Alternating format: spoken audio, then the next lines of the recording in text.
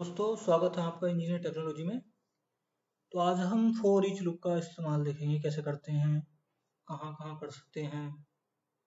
तो शुरू करते हैं। प्रीवियस चैप्टर में हमने फोर लुक के बारे में जाना था और कंटिन्यू कीवर्ड का यूज़ करना देखा था। और आज हम फोर ईच लुक का इस्तेमाल देखेंगे। एक्चुअली फोर ईच लुक कहाँ और कब करते हैं यूज़ मतलब कैसे कर सकते हैं हम इसको यूज़ एक तो फोर ईच जो है, उन्हीं कलेक्शन पे लगता है, जैसे set of number of data हो, जैसे फॉर एग्जांपल एरे लिस्ट और एरे लिस्ट एंड क्यू कुछ भी हो मतलब कलेक्शन होना चाहिए डेटा का। इसमें फोर ईच और फोर लूप में क्या डिफरेंस होता है? फोर लूप में हम क्या करते हैं, पहले वेरिएबल इनिशियलाइज करते हैं, उसकी वैल्यू इनिशियलाइज कर सकते हैं। हम लूप जो है, किसी भी इंडेक्स से स्टार्ट कर सकते हैं। सपोज़ करो, मैं एक एग्जांपल दिखा देता हूँ। इंट हमने आई आई इनिशियलाइज करा, जिसकी वैल्यू फोर से रखी।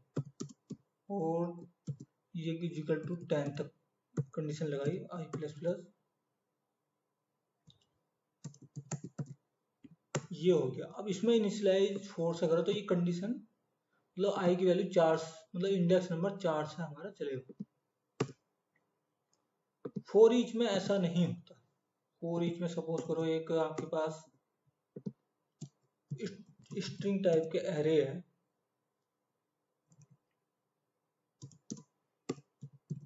जिसमें है हमारा हम वैल्यू पास कर देते हैं। इंट टाइप का ले लेते हैं सपोज़ इनिशियलाइज करने में आसानी रहेगी। डबल कोट नहीं लगाना पड़ेगा बार बार। वन, टू, थ्री, कुछ भी हम ऐसी वैल्यू दे देते हैं। इस तरह से। तो इसकी वैल्यू हम दे देते हैं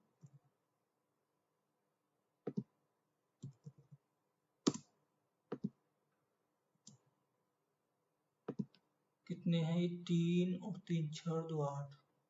आठ। अब ये इस तरह से हो गया। फोर इच लूप में एक फ़ायदा और होता है कि हमें उसकी कंडीशन चेक कराने की कोई ज़रूरत नहीं पड़ती फोर इच सपोज़ करो, ये फोर इच कीवर्ड से शुरू होता है। इस तरह से। अब हमें फोर इच का एक बात और ध्यान रखने की फोर इच हमेशा ज़ीरो इंडेक्स से चलता है। उसे कभी इनिशियलाइज नहीं कर सकते हम उसका इंडेक्स की वही वन से चले टू से चले।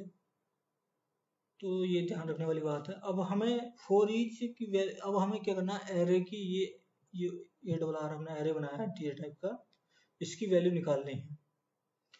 तो हमें ध्यान रखना होगा कि हम जो वेरिएबल अब आप किसी चीज़ में, किसी चीज़ से डेटा निकाल रहे हैं वन बाई वन तो आपको सपोज़ करो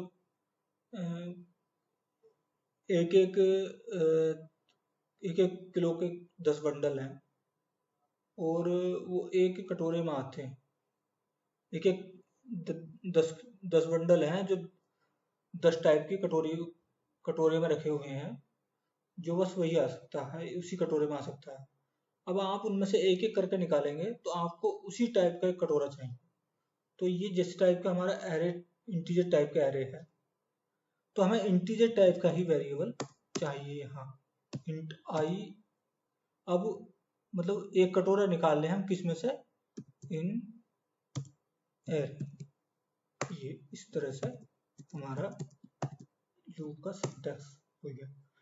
मतलब एक इंट टाइप का वेरिएबल निकाला हमने, जो इंटीजर टाइप का एरे है। मतलब उसमें कई कई सारे मतलब कई सारे इंटीजर टाइप के वेरिएबल पड़े हैं। डेटा पड़ा है तो हम इसे प्रिंट करा कर देखते हैं। Console dot write line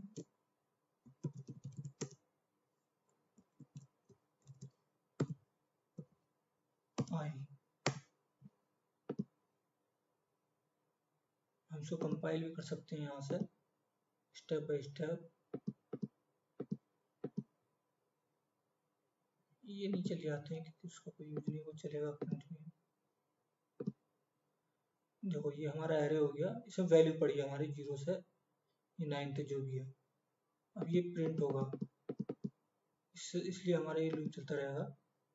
अब देखते हैं वन टू थ्री फोर ये हमारा जो है इंडेक्स ज़ीरो से चला। तो दोस्तों, ये आपको समझ में, और मैं दोबारा समझा देता हूँ।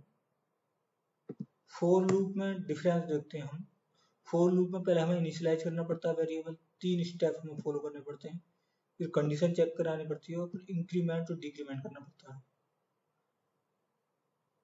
दूसरा डिफरेंस फोर लूप में हम पहला वेरिएबल इनिशियलाइज करते हो किसी भी रेंज से कर सकते हैं। ये ज़रूरी नहीं है ज़ीरो इंडेक्स से हो फाइव फोर फोर कितना भी ले सकते हैं। और इस थर्ड ये होता है कि इसमें कंडीशन चेक कराने की ज़रूरत पड़ती है। अब फोर ईच में देखते हैं। फोर ईच में हमें ना ही इनिशियलाइज कराने की ज़रूरत पड़ती वेरिएबल्स ये हमेशा ज़ीरो इंडेक्स से चलता है। एरे की ज़ीरो इंडेक्स की वैल्यू से निकालेगा ज़ीरो इंडेक्स है जहाँ तक उसकी लेंथ होगी। ना ही इसमें लेंथ चेक करने की ज़रूरत पड़ती कि, ना ही कोई कंडीशन चेक करने की ज़रूरत पड़ती। जैसे ही इसमें वन बाई वन ये वैल्यू निकालता रहेगा प्रिंट करता रहेगा प्रिंट करता रहेगा, और जैसे ही वैल्यू खत्म होगी बाहर आ जाएगा। तो दोस्तों फोर इच लूप का ये इस्तेमाल होता है। आपको वीडियो कैसा लगा, इसके बारे में बताना कमेंट्स लिखना। और मेरे चैनल को सब्सक्राइब करना नई नई वीडियो देखने के लिए इसी हिसाब से रिलेटेड थैंक यू